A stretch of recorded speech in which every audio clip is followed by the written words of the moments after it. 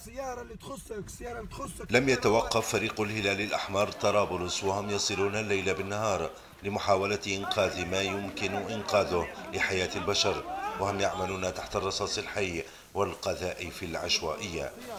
آخر العمليات ولن تكون الأخيرة.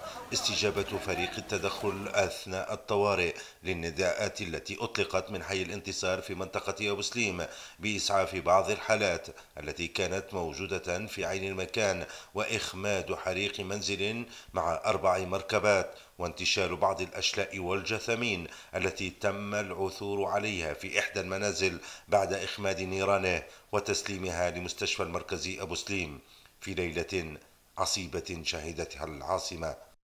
قبلها قام الفريق بإخلاء ثلاث عائلات من منطقة عين زارة وتوزيع بعض المواد الغذائية التي بلغ عددها عشر سلات للأسر التي منعتها الظروف من الخروج من منازلها. عمل إنساني في ظروف صعبة وتقديم حياتهم من أجل غيرهم.